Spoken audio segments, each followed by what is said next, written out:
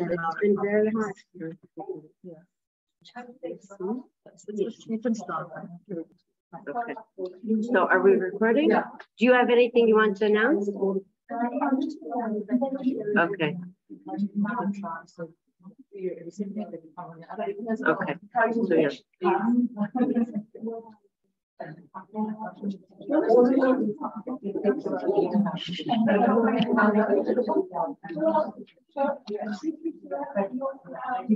Marina, how nice to see you. Wow. Yes. Wow, wow, wow, wow. Welcome to the people on Zoom. How nice to see you. There are still Zoom participants, yes.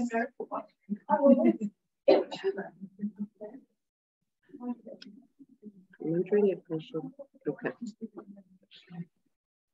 Let's See if other people get on. We're recording. Yes. Okay. Erev Tov. Welcome to the Bet Midrash Erev. We have people here in Matan. We have people on Zoom. Welcome. And this is a new initiative. We've been studying together for many years on a Tuesday night. But what's new this year is the Bet Midrash Erev, and that every Tuesday night at 8.30, there will be an English class. And so you can sign up for Tuesday night and you can go between the two classes. All the classes are um, alternate weeks. So you can make Tuesday night your learning night. Hello, Ellen in New York. How are you?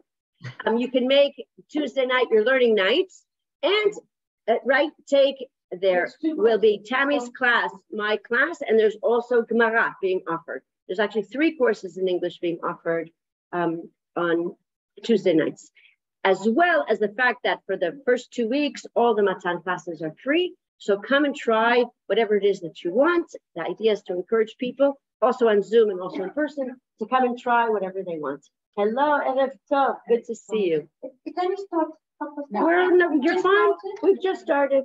Kol Tov. Okay. Um, I think I know everybody here, but let's just go around the room. Everyone can introduce themselves. I'm Gina.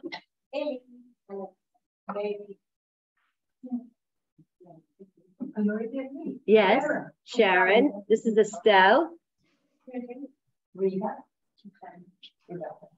Wonderful. And we have on Zoom Raina and Ellen and um, is this Orly, Brianna, and who is this? I know who this is. This is, this is Helen. Somebody who doesn't have a name on their screen, but if you want, you can identify yourself or open up. Okay, we are studying this year Jewish women. It's a continuation of the course last year, but again, every shiur stands on its own.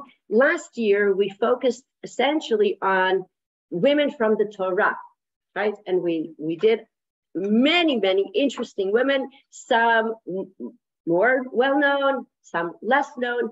Then at the very end of the year, we already moved into Nevi'im, right? And we did um, we did the wife of Manoach, Shimshon's mother, right? And we did Pnina at the very end of the year in the Hannah and Pnina story. We did Pnina. Um, now we're going to focus this year on women in the Nevi'im, Ktuvim, and we are going to move into women of the Talmud and hopefully at the end of the year, also contemporary Jewish women. That's the plan. Today, we're going to look at a very interesting figure, Michal, and I'm calling her for now Michal Bat Shaul, Michal, the daughter of Shaul. I'm not referring to her yet as what? Michal, the wife of David. Okay, that will be part two, as you can see. Part one, that will be part two. Right now, we are going to focus on Michal Bat Shaul as the daughter of King Saul. I have to say that when I came to Israel and made Aliyah, I think Michal was the most popular girl's name. Like eh, my children in every class, they had at least three Michals, right? There was Michal Agvoa, Michal Nemucha, Michal, you know, I don't want to say Shmena, they didn't say that, right? What? Right, Blondinit, Yafe, Michala Blondinit, right. Um, I think today now the most popular name is Noah. That's right. I think that's true. Um, so today we're going to look at the story of Michal, and we're going to look actually at the text in Sefer Shmuel um, as well.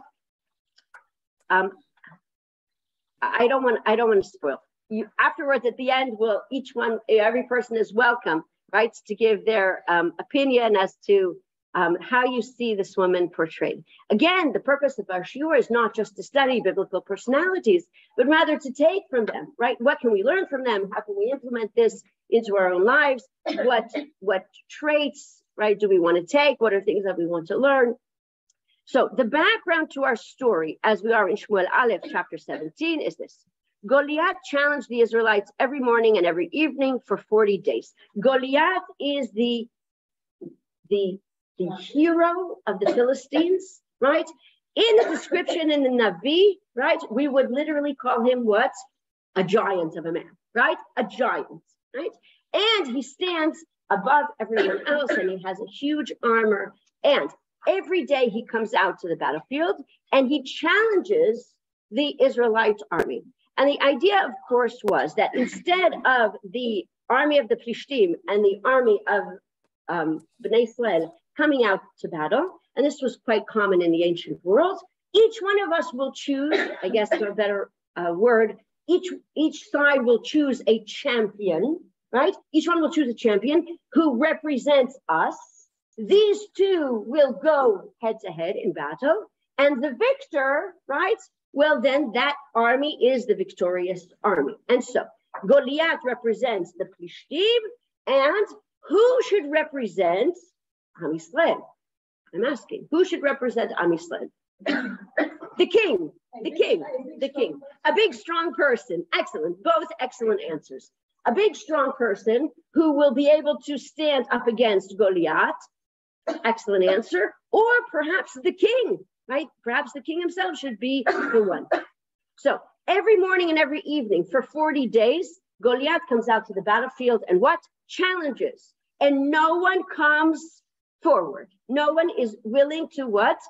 To accept the challenge. Nobody. They're afraid, obviously. Um, when the Israelites saw Goliath, they ran away in terror. Look at him, they said to each other, listen to his challenge. King Shaul has promised to give a big reward to the man who kills him, and the king will also give him his daughter to marry and will not require his father's family to pay taxes. Oh, very clever on the part of Shaul HaMelech that there are two incentives. One is what? Will have the princess, right? The king's daughter hand in marriage. Again, it sounds like the fairy tales, right? But the prize is the princess and tax free, right? Taxes free. That's really quite an incentive because when we go back and we read the beginning of Sefer Shmuel, Mishpat HaMelech, one of the arguments is that the king has the ability to what? To tax, right? And to take whatever the king wants this indeed was supposed to be initiative, right? There would be no taxes paid.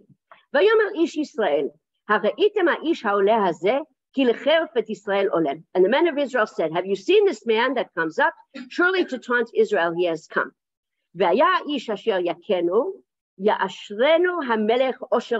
And the man who kills him, the king will enrich him with great riches. And he will give him his daughter and his father's house will be free in Israel.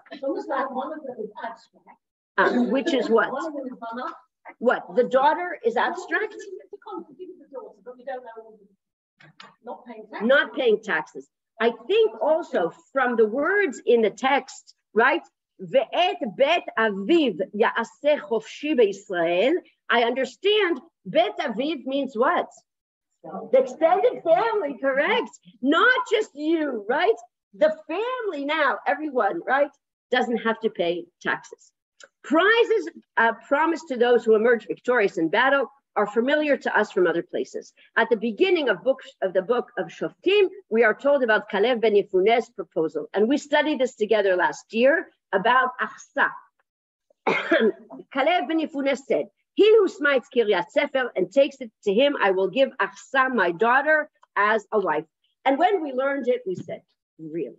I mean, to give your daughter as a prize, there's something here that, but we understand that it was considered what? A great thing, right? And here's a great warrior. It seems, right? Because we don't even see it just once, we see it. Women were currency. Okay. Um, nevertheless, the prize that is promised here appears to be on a grander scale, for it includes an economic component as well as personal status, right? And what's the economic component? No, not having to pay taxes, right? Um, the family, and there will also be family connection to the king. The prize attests to two things. First, it gives expression to Shaul's personal intervention in the matter. It was already noted that it was Shaul who should have gone out to fight Goliath, and he doesn't. The personal prize noted that it was Shaul who should, uh, sorry, um, the personal prize offered by Shaul emphasizes his personal interest in having someone else do the job in his place. And secondly, the prize illustrates the enormity of Israel's fear to meet Goliath's challenge. First of all, 40 days the challenge is put out and no one comes forward. And then, even it seems, after the king has offered this tremendous incentive, what? it doesn't seem like what? There is a huge line of people, right? In line waiting. What? If you're dead, you can't. This impression is um, okay. This impression is reinforced by the fact that even this grand prize fails to persuade anyone to accept the task. The time of the meeting between Shaul and David has now arrived. On the one side, there's a frightened king who is looking for someone to accept upon himself a mission that is rightly the king's and who is ready to promise great rewards in exchange. On the other side is a young man who doesn't understand why nobody is going out to fight this uncircumcised Plishti and was filled with faith and victory over one who taunts the armies of the living God. And David said to Shaul, ויאמר דוד אל שאול, אל ייפול לב אדם עליו, עבדך ילך וללחם עם הפלישתים הזה. Let no man's heart fail within him, your servant will go and fight this Plishti. Now, what do we think of that? First of all, he is quite a young man, okay? And what are his, um, what are his qualifications. qualifications. Thank you. What are his qualifications?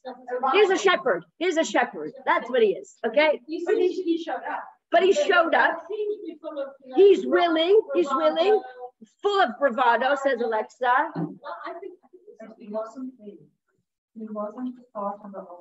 He wasn't part of the army. Okay. He's visiting his brothers. Excellent. So why would he? Uh, why would Shaul accept it? You're saying he has nothing to lose. No one else has shown up. It's a joke. The joke is when he does succeed. I think this is the scene the Shaul's enmity ah, okay. Okay. Okay.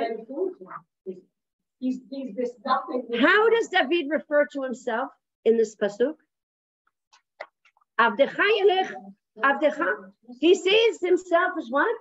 I'm a loyal servant of the king. That's how he sees himself, right? As a matter of fact, in his eyes, right, everyone should have stepped up, volunteer. Okay. Now, he doesn't seem to be afraid. He doesn't seem to be, right? Which is again quite amazing because no one else has stepped up.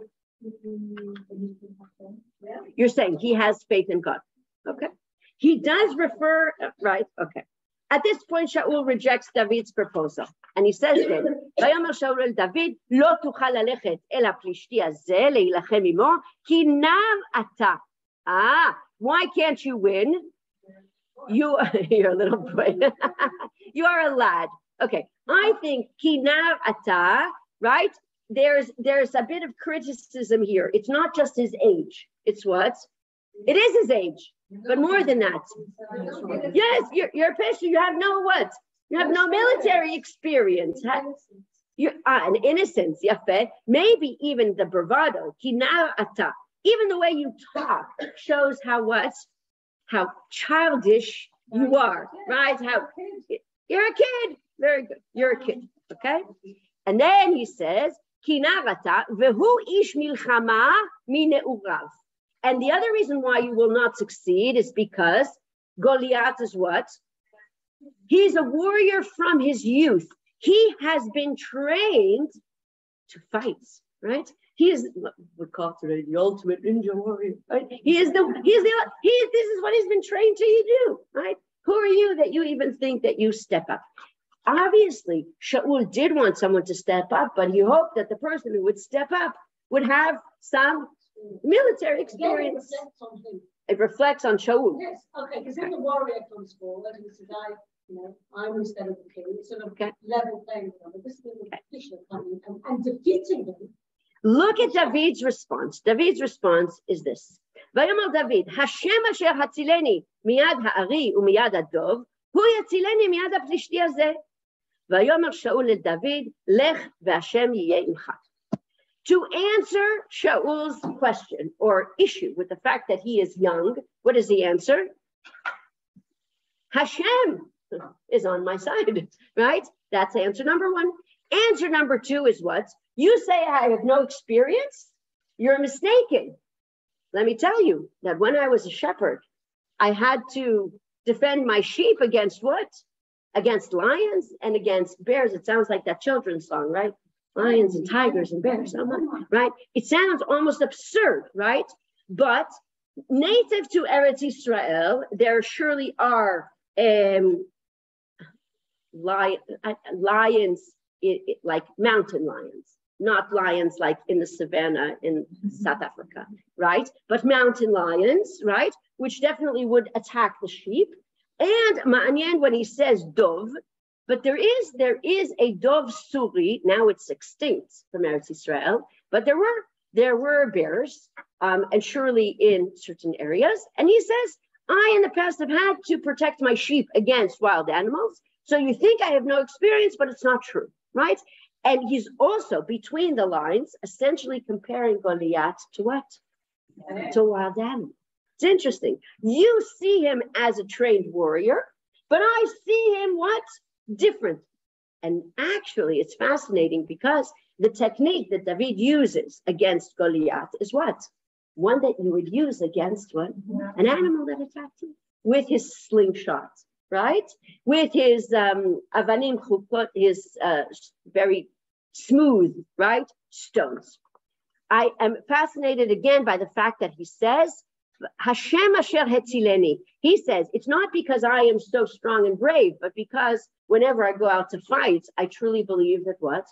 Hashem is helping me and guiding, right? Now Shaul agrees. Vayama Shaul David, lech, go. Vashem and may the Lord be with you. Now, we could read, May the Lord be with you, in so many different ways. Honestly, we could we could read it with tremendous sincerity. May the Lord be with you. And we could also read it like, oh boy, may the Lord be with you. like what? Good luck, right? All I can say to you is what? Hashem yemcha. That's it, right? Ah, lech. Ah, yafe. Vayomer Shaul David, lech. Maybe he says, get out of my sight, right? Not go to the battlefield. Excellent, excellent. Effect. Goliath starts walking towards David, and David runs quickly towards the Plishti battle line to fight him. And he reaches into his bag and takes out a stone, which he slings at Goliath right? And he aims it very specifically at what? At his forehead, right? Um, it hits him in the forehead and breaks his skull, and Goliath falls face down on the ground. This is already very interesting. Not that I know the physics of it, but we would assume that if someone got hit in the head, they would fall back. He doesn't fall back, he falls forward. He falls forward. Um, and because he is such a large person, right, the fall, the fall, right, um, renders him at least um, incapacitated, which is what David wants to do. Because what do you have to do? You have to bring your enemy down so that you can now what? Have an even playing field. And so when Goliath is down on the ground, David then takes Goliath's sword cuts off his head and kills him. Now we didn't learn that part in the Gan Eladim. right? we, no, we didn't. We learned in the Gan Eladim that he killed him with a stone, but that's not. No. The stone, because of the stone, he falls, and then he takes his. Well, it, you're right. We have to look carefully at the psukim. Did the he, he's unconscious, and then he takes his Goliath's sword and cuts off his head. Now, there is nothing more humiliating to a great warrior than to be killed by your own sword, right? Even today in Tzahal, we know al Torah haneshek, and you are not allowed to ever laskir et haneshek, right? You have to sleep with it under your pillow, in your sleeping bag at all times. As a matter of fact, the mifakdim, the officers come in in the middle of the night, and what do they attempt to do? To take your weapon, right? They attempt to take your weapon. The fact that Goliath is killed with his own sword, right, is a humiliation to the great warrior. David will then keep the sword, right? It will be something that he will keep. It will remind him, right, um, of this victory. And then after the great um, victory against Goliath, you can only imagine that David becomes now what? Grand hero of Israel. Of course, of course, right? The next pair. ויצא דוד בכל אשר שלחהו שאול, ישכיל וישימהו שאול על אנשי המלחמה, ויטב בעיני כל העם וגם בעיני עבדי שאול. And David went out, wherever Shaul would send him, he would succeed. And Shaul appointed him over the soldiers, and he was pleasing in the eyes of all the people, and also in the eyes of Shaul's servants. What happens after the battle of Goliath? David becomes, hi Minnie, he becomes what? A favorite. He goes up the ranks, right? He now becomes in charge of the army. And whenever there is a problem, Shaul then sends David, right? Now, he doesn't just um, rise up in the ranks of the army and is pleased, uh, pleasing to the soldiers. Also, right? All the people now what? Everybody loves David, right? And Be'enei Avdei Shaul. Also those who are what? The servants and loyal to the king. And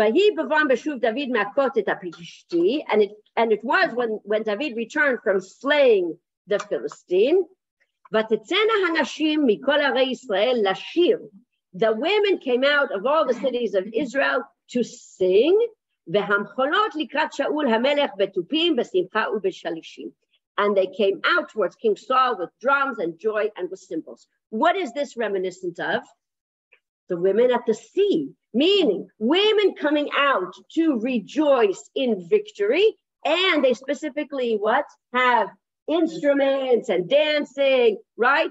To Tupim, the same way Miriam has her drum. We understand that this is, and it's also like um, to hail the victors as they come, the women come out. I think even people used to go, even in modern days, they used to throw flowers, right, at the army as they came down. Um, but and the cheering women sang. Shaul has slain thousands, and David has slain ten thousands. This is the song the women are singing. What is the problem with the song? they have made David what? Greater than King Saul. They, th this is the song that the women are singing. Okay. And Shaul was very, oh, what a beautiful word in English. Chagrined. Very nice chagrined. He's very upset, right? Of course, he's upset, right? Um, and and it, the matter displeased him because it seems that what David is now a favorite of the people instead of the king. They ascribed to David 10,000, and to me they ascribed the thousands. And what more can he have but the kingdom? This line is very telling. Whether Shaul actually expressed it to other people or whether he just said it to himself, but what is his impression? That if he's become a favorite of the people and the people now love him so much, what? The next thing he'll want to take from me is what? Is the kingdom. He's already taken what? Public opinion, right? Next thing he'll want what? The crown. And Shaul and, and Saul, look at the English, interesting. From the root of the word ayin, I, David, from that day on, but there's a kri uchtiv. It also means oyen. He, he was what? He was wary. He was wary of him from that day forward. But it does fit the root of ayin because even in English we say, I'm keeping my eye on you, right? It works, right? I'm watching you essentially.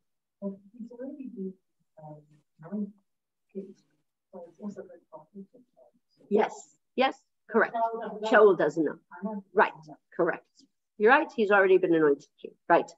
Vahimi Macharat. Yes, of course, Jonathan. Yes, yes, yes.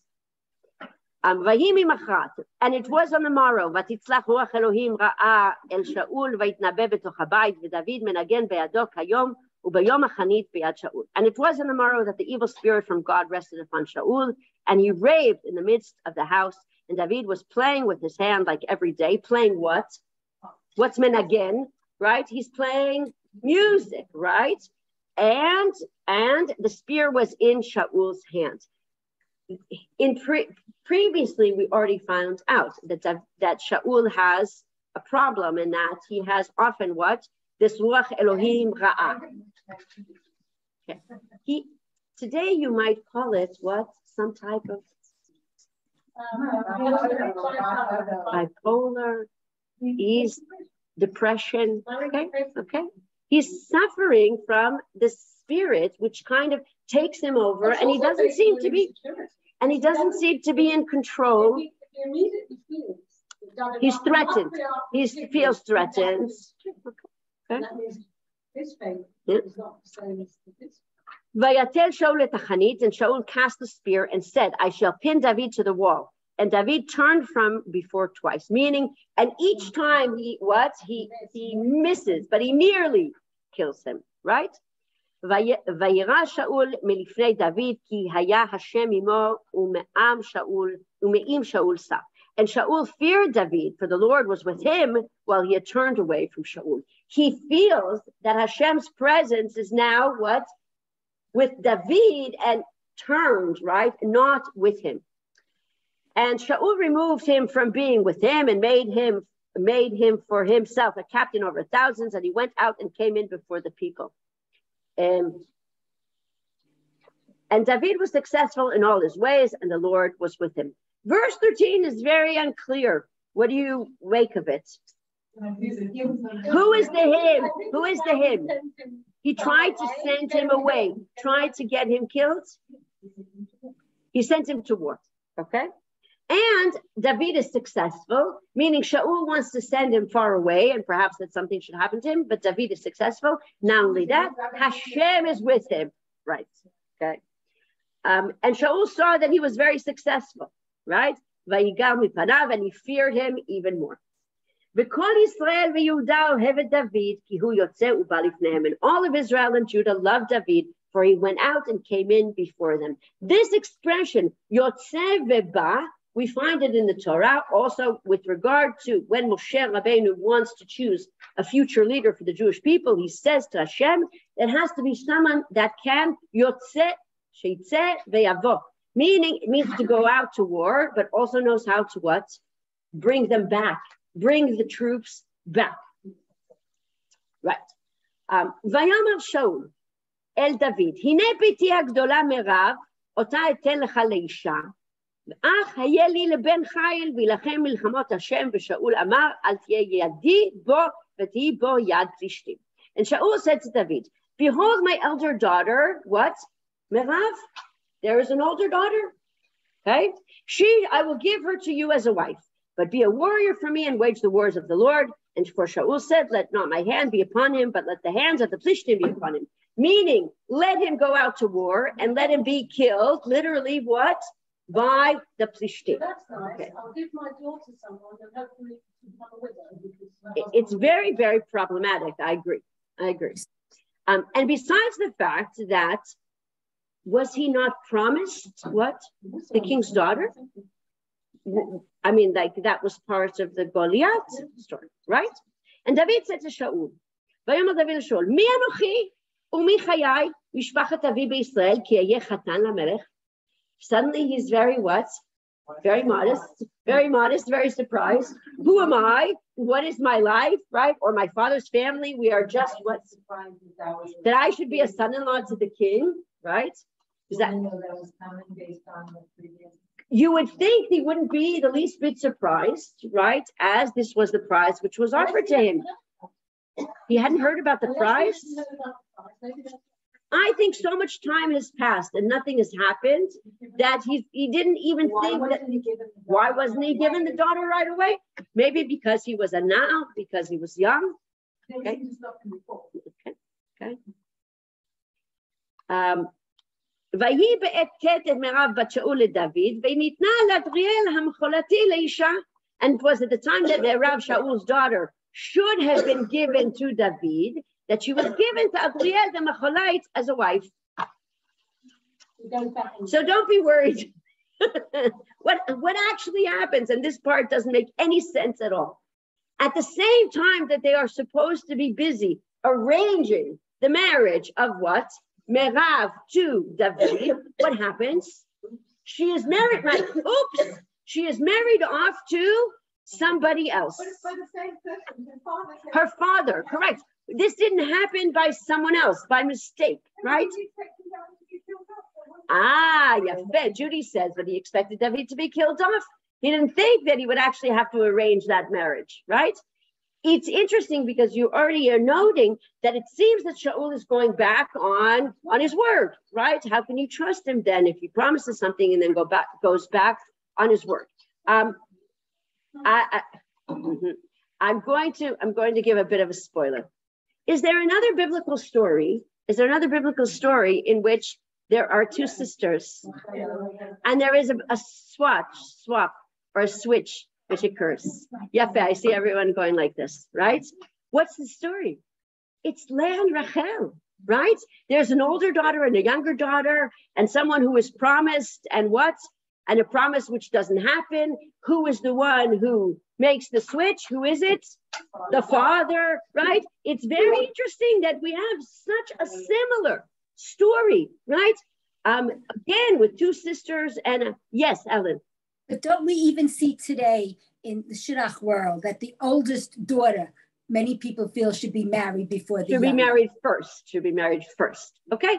Look, we don't know which daughter was promised because it says right that the daughter would be married to David, and we we don't know. And perhaps all along it was supposed to be Mera. Let's look at the next verse. ותאהב מיכל בת שאול את דוד, ויגידו לשאול, וישר הדבר בעיניו. And Michal, Shaul's daughter, and now we understand that she is what? Daughter number two, right? Merav was the older one. She is the second. She loved David. And they told Shaul, and the, no, we don't know, you're right, but we're assuming that because the marriage was arranged with Merav, right, that she was the older daughter, as right, it's not uh, it's not appropriate, right? That the younger be married before, the, right? Right. Um, and what is interesting about Pasuk Kaf, about verse 20, Michal, Shaul's daughter, what? She loves David. She loves David, right? And why does this please Shaul? Why is he pleased about it? He got out of what? He knows he was wrong. He knows that he had made a promise and went back on his word, and Merav has been married to someone else. Phew, I dodged the bullet. How? Well, daughter number two, what? She's in love with him. Okay, so maybe we can, what? Maybe I can fix this, right? But surely he didn't want to give any daughter to David. Not only that, he wants David to what? To be killed in battle. That's what he really wants. What he says. He says, okay, this is a good thing but the healers will be a spy. She'll come back. Ah, okay. And Shaul said, I will give her to him, and she will be a snare to him, יפה. ותהי לא למוקש, ותהי בו יד פלישתים, ויאמר שאול לדוד, בשניים תתחתן בי היום. And, and Shaul said to David, with one of two shall you be my son-in-law. well, what? Either this one or that one, right? It again, it, it gives such a bad feeling regarding, right? His daughter is as if he's what? You know, it's a it's a game. They're pawns, right? Right? Um, interchangeable, very good. And right, Alexa pointed out the word mokesh, vatihi lo mokesh. Perhaps indeed Shaul thought she will what? She'll be a spy, right? And it's interesting because we'll see in our next year with regards to Michal and when she is indeed married to David, she is constantly challenged between being what? The daughter of Shaul or the wife of David. This is this terrible place in which she is constantly, right, struggling with. Um, it's interesting again that he says, well, right, or this one or that one, right? The daughters are almost interchangeable. When I say the word interchangeable, I'm almost catching myself because that's exactly what Lavan did. He what? He changed, literally changed one for the other, didn't he? Oh, we, we don't. Right. This was the older one. This was the older one, correct? He married her off first, correct. He made a better shidduch, so he thinks, right? Um, very interesting, right?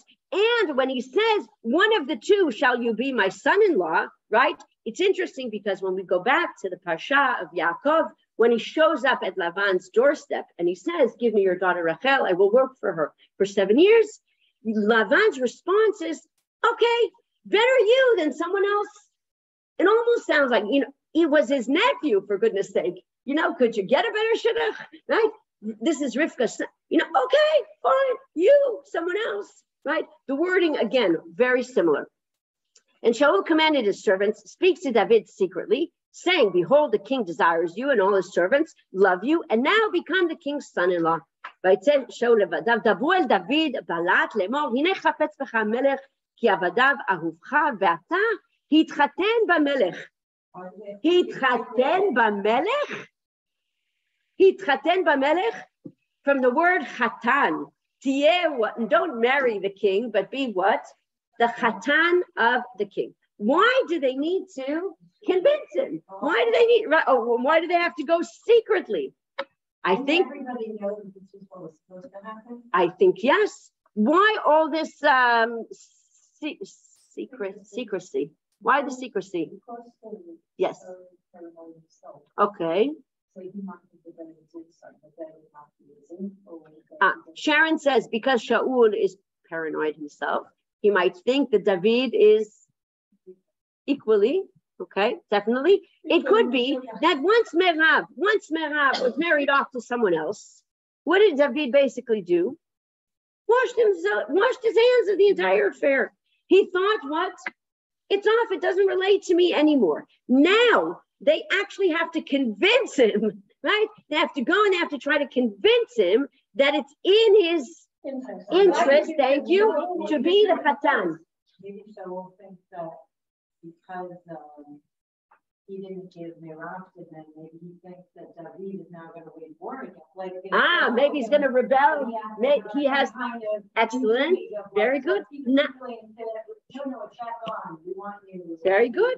It's true. He has the support of the people. Maybe Shaul is worried, right? the king desires you, like trying to trying to woo him, bring him back. Very good. Wants keep your keep your enemies close. keep yeah, fair, Raina. Thank you. Right. Keep yeah, fair. Keep your enemies close. יפה. Um, וידברו עבדי שאול באוזני דוד את הדברים האלה. ויאמר דוד, הנקלה ביניהם יתחתן במלך ואנוכי איש רש ונקלה. And the servants of David said these words in David's ears, and David said, Does becoming the king's son in law seem to you to be a light thing? For I am poor and lightly esteemed. He's actually arguing with the servants of the king, saying, What? I'm not appropriate. Leave me alone. I'm nothing. I'm hump. Okay. And Shaul's servant said to him, saying, right, went back, told Shaul, right, what David said. And Shaul said, So shall you say to David, right? It's, it's reminiscent to me of the story in um, in Megillat Esther, where she's in the palace and Mordechai is outside, and there's this Hatach who's busy what? Running back and forth, relaying messages. Here we have the servants who are doing what? Running back and forth and relaying messages, right? This is what David said, and Shaul said, So shall you say to David, the king has no desire in a dowry, but in 100 foreskins of the Philistines to avenge himself upon the king's enemies but Shaul not to make David fall by the hands of the Plishtim. Oh my goodness, right? If you're worried because they heard that he had said, because Shaul heard that he said, Anochi ish rash, I am poor, right? I am poor. How can I marry the princess? I have nothing what to bring to the marriage. I am but a poor shepherd. Says the king, don't worry. Now, why is that absurd? Because The king's daughter had been promised to him. He doesn't need to bring a dowry, right? But the whole thing has been turned on its head. Once, ah, interesting. Shouldn't it be the bride's family that brings wives? He obviously has to bring something. He has to bring something to the marriage. Otherwise, why would Yaakov have said, let me work for seven years? Why?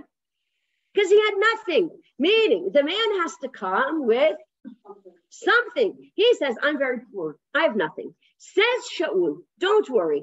I'm not asking for anything, right? The king has no desire. It's interesting because you're right. Usually it's the, the girl that has to bring the mohar and not the man. Different cultures, different. Okay. What does he ask of David? And this is really, it's like outrageous. What? Mea arelot plishtim. 100, right? Plishti foreskins. What is he basically saying? He's asking for them. Go and kill, go and kill a hundred plishtim, avenge the king's enemies, show your what? Your loyalty to me, bring me back these foreskins, right? And then what? That's all of I ask. And then it says, what was Shaul thinking? David Then David will get killed, and what? I also don't have to give him what? My second daughter. And he's gone. Right? And he's gone. And he's gone. In addition. But what about Michal in all of this? Alexa just goes, oh, yeah. And they don't care about her. When someone's thinking, right? It is very interesting that you're right that it says, but Shaul's thoughts or what was sure that we know. Very good. Okay. And the servants told David these words, and the things pleased David to become the king's son-in-law, and the days had not velo malu hayamim, and the days had not expired. What days had not expired?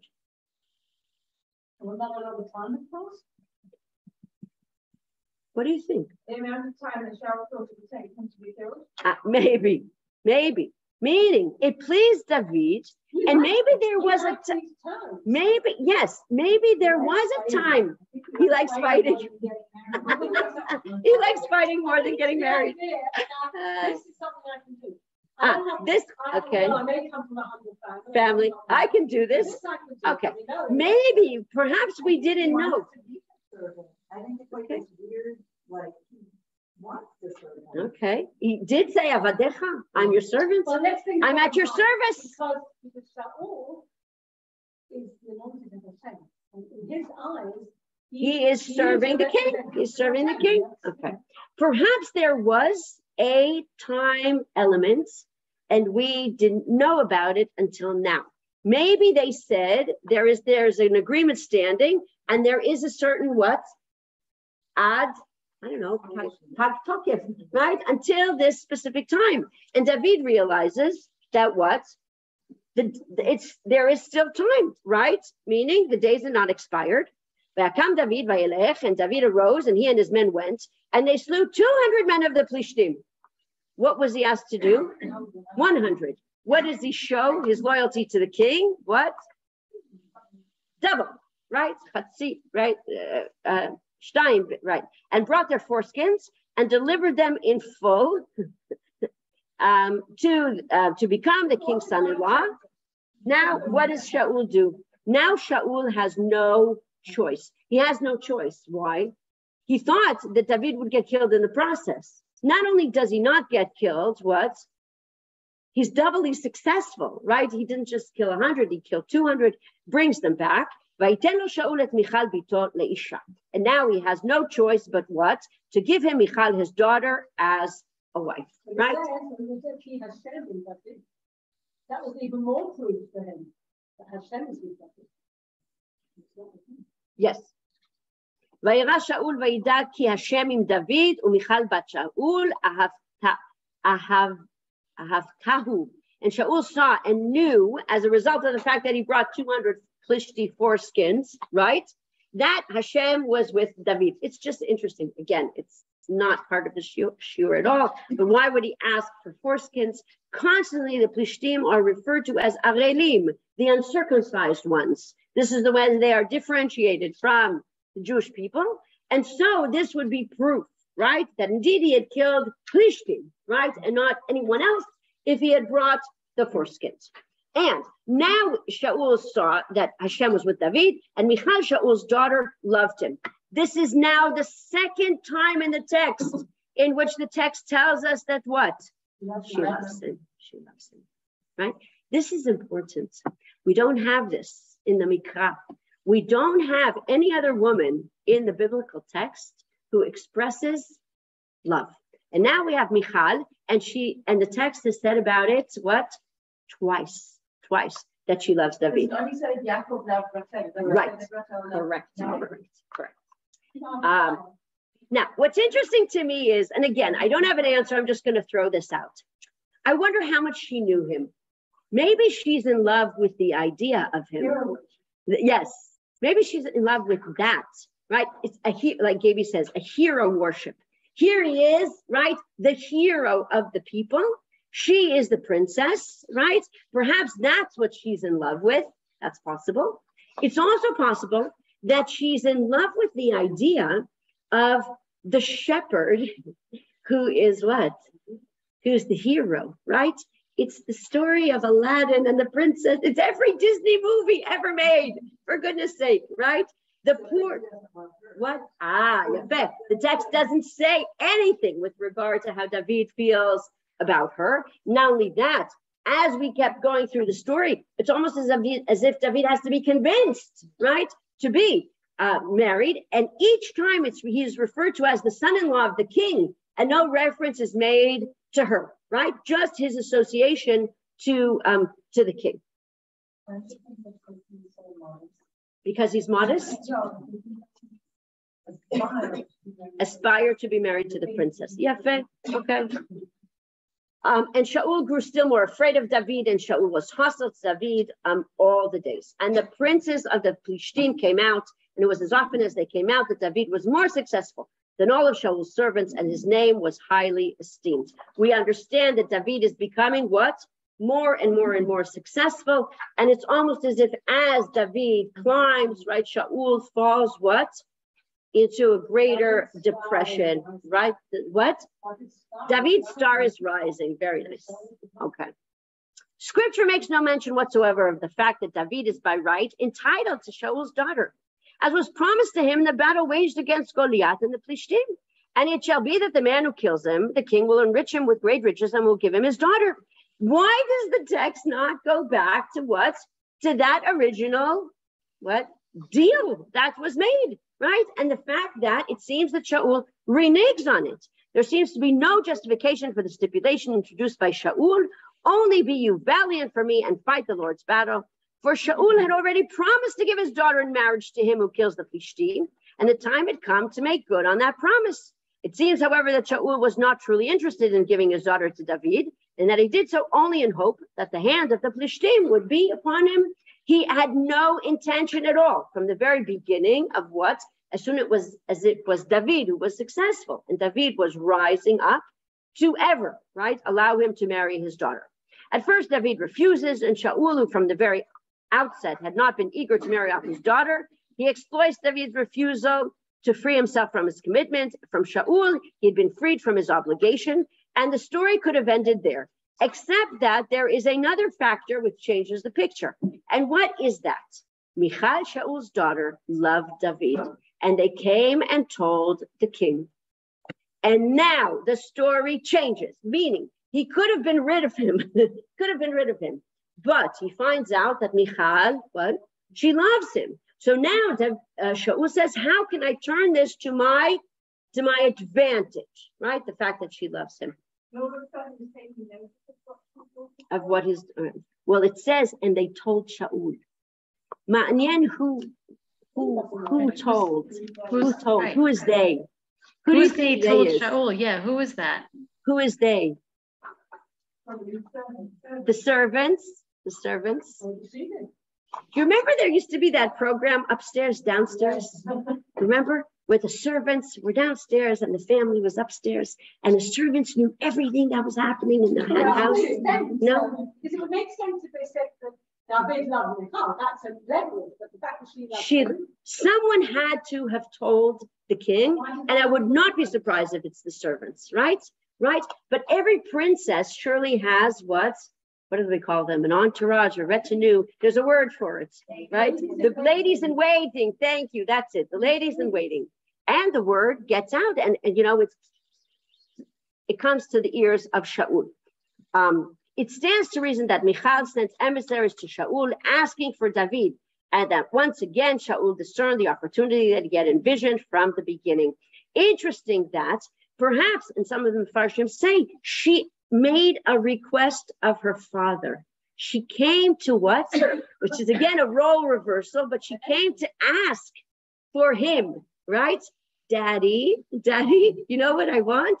That's what I want. That's what I want, right? He's the one that I want, right? Um, at first, um, once again, David refuses, but this time his refusal is worded differently. This time he says, right, he's not fit to marry the royal family. And also he says it's financial. He doesn't have the means to provide the king's daughter with a fitting dowry. Again, which is absurd because why would the king's daughter need a dowry, right? But okay, this is what is expected. It should be mentioned once again that there is no justification for Shaul to demand a dowry, for David had already earned the king's daughter fair and square. However, Shaul exploits David's offer in order to try already at the stage to bring harm by way of the Plishtim. King Shaul's scheming fails. Not only does David pass the test, he returns with the double amount of right of foreskins that had been demanded, and he leaves Shaul no alternative to what? But to allow Michal to, to marry. Okay. The relationship between David and Michal is one of the most twisted and complicated in Tanakh. It begins with unprecedented love and devotion on the part of Michal and ends with frustration and the pronouncement that Shaul's daughter did not have a child until the day that she died. We'll get to that, and that's a very important um, story as well in Shmuel Bet. When we come to analyze the nature of this relationship with its ups and downs, we find that we already have an important key to understand the story, as we have another story, and I already mentioned it, the story of what? Yaakov and Rachel. In both stories, the heroes are the groom. Well, I don't know if we'll call the hero, but the folk hero, as in what? Gibor, Hasipur, right? So we have Yaakov and we have David, and we have a father-in-law, right? And the father-in-law is Lavan and Shaul, and we have two daughters, and the two, of course, right, two sisters, an older and a younger, Leah and Rachel, Merav and Michal. In both stories, the, the only like a big difference is that we are told how the sisters in the Torah look, right? There's a description of Rachel and how beautiful she is. And regarding Leah, we know about what? Ene Leah Rakot. We know about her. We don't know anything about Merav and Michal, whether what? Whether they were beautiful. We don't know anything about them. In both stories, the father-in-law breaches an obligation that he had already given regarding the marriage of his daughter. Lavan replaces Rachel with Leah, and Shaul, who had obligated himself to give his daughter in marriage to the man who kills Goliath, gives his daughter to another man. So here, this is the, the switch or the trick. It's not that he had promised one daughter to David and then what? Gave another daughter. No, that's not it. It's that he had promised David he would marry the daughter and then what? And then the daughter is given to another man, right, to somebody else. In both, um, in both cases, the groom is asked to pay for the marriage, right? And in both cases, he pays twice the amount, right? First, Yaakov said, I will serve seven years for Rachel, your younger daughter. And then after Lavan replaces Rachel with Leah, what does Yaakov do? He works 14 years. Another what? Another seven years. And similar to our story, he was asked to bring 100 foreskins and he brings what? 200. Right. The book of Shmuel relates that after David heard the conditions set for his marriage to Michal, and when his servants told David these words, it pleased David well to be the king's son in law. And we have a similar wording, Velo Malu Hayamim. And David said, Give me my, my wife, for my days are fulfilled Kimalu yamai, meaning that there is a time frame as to when the marriage needs to take place. Yaakov said, Malu yamai, right? Time is up, give me my wife. David saw that he still had time, right? The days had not yet been filled. The two stories continue also in a parallel manner. The rift between son in law and father in law continue. until in the end, the son-in-law runs away. Um, that is, Yaakov runs away, right? And his wife helps him and cooperates against her own father. What happens there? Rachel has stolen the trafim, right? She sits on them, she hides them from her father. And David and Sha- David will run from Shaul's men, and Michal will help him escape as well. In both stories, in the end, there is a, a, uh, a meeting between father-in-law and son-in-law. They are pursued, and in the end, the two parties reconcile, swear to each other by the name of God, and said God as a judge between them. In both cases, in the end, I wouldn't say there's tremendous shalom bayit, but there is some type of what reconciliation between the father-in-law and the son-in-law. The, yes, also in the end. The two stories are uh, also um, in both stories. Um, uh, we did that. It is, however, precisely these parallels that highlight the main difference between the two stories. Whereas with Yaakov, scripture repeats over and over again how Yaakov loved Rachel, Vaye'ehav Yaakov et Rachel, and Yaakov served seven years, and they seemed like what? Just a few days. And uh, moreover, he loved her more than he loved Leah. Regarding David, this feeling is entirely lacking. The lacking emphasized by the rare mention of the love of a woman. And Michal Shaul's daughter loved David. And we have it twice in the text. Moreover, over the course of the chapter, it becomes clear what truly stands behind David's conflict about marrying Michal. David said, Does it seem to you to be a light thing to be the king's son in law? It pleased David well to be the king's son in law. It seems that the focus is not what? On her at all, right? She's a means to an end. What David wants is to be what? Related to the king, and he doesn't through. It doesn't seem like he does want to. There's all the way he's hesitant. He has to be. He has to be convinced. He has to be convinced. Okay. Um, this is the way the relationship between David and Michal began. It's a one-sided love on the part of Michal and consent to marry on the part of David based on the opportunity afforded to him to become the king's son-in-law. Without a doubt, this imbalance is not a good situation, and we will see it becomes the problem for everything in the relationship, which happens in the future. The fact that there is not what mutual love between this couple, or that we never hear that David is what? Even interested. Even interested, even interested, right? Right? In Michal, it seems that this is just a marriage, what? In order to allow him, right, to become close, right, to the king. What Shaul said this is going to happen, he can't even say no.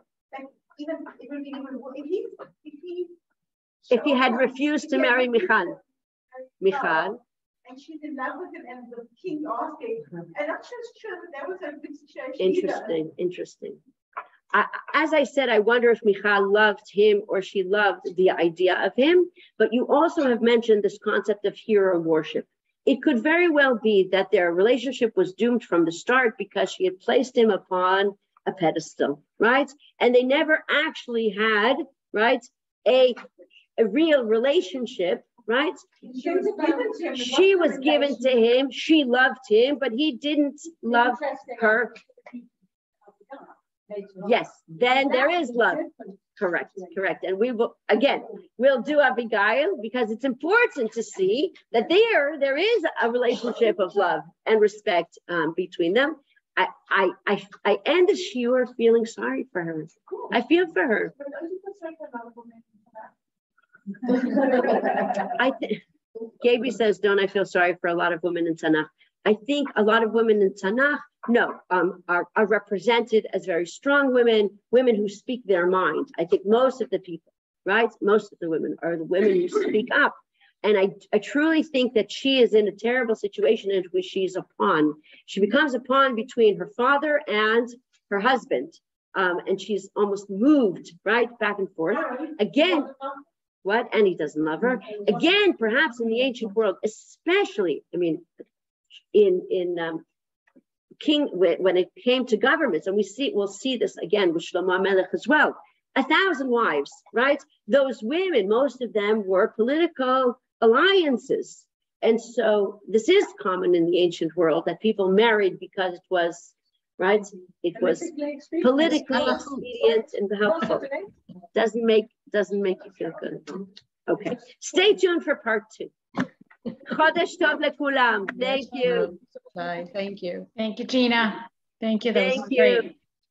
Thank you. Thank you very much. Yes, Thank you.